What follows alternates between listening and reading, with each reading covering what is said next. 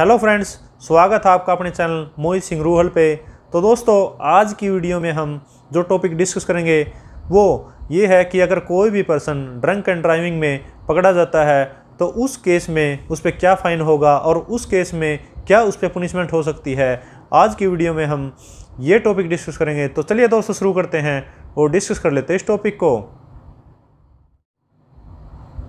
तो दोस्तों, अगर कोई भी पर्सन ड्रंक एंड ड्राइविंग में पकड़ा जाता है। मान लीजिए उसने ड्रिंक कर ली है और उसके बाद अगर वो ड्राइविंग करता है और वो अगर पकड़ा जाता है तो जो उसका फ़र्स्ट टाइम का फ़ाइन होगा, वो भी कोर्ट के द्वारा डील किया जाता है और जो सब्सिक्वेंटली अगर वो एक बार पकड़े जाने के बाद भी नहीं मानता है और सब्सिक्वेंटली अगर वो पकड़ा जाता है तो भी जो उसकी डीलिंग होती है, वो कोर्ट के द्वारा ही डीलिंग होती है। उसका जो लाइसेंस है, वो भी सस्पेंड हो सकता है और इसके अलावा इसमें पुनिशमेंट का भी प्रावधान है।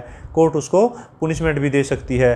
तो दोस्तों, मेरी आप सभी से यही रिक्वेस्ट है और जो उसका व्हीकल है व्हीकल तक का भी बॉन्ड हो सकता है।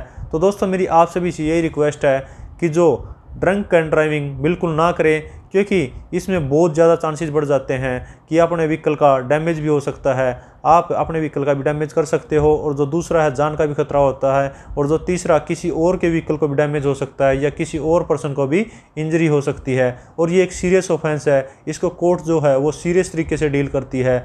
तो इसमें लाइसेंस तक सस्पेंड हो जाता है। तो दोस्तों, अगर ये वीडियो आपको अच्छी लगी है तो लाइक कीजिए शेयर कीजिए, और अगर आपने ये चैनल अब तक सब्सक्राइब नहीं किया तो चैनल को भी सब्सक्राइब कर लीजिए। ऐसी ऐसी वीडियो इस चैनल पर अपलोड होती रहती हैं। Thank you so much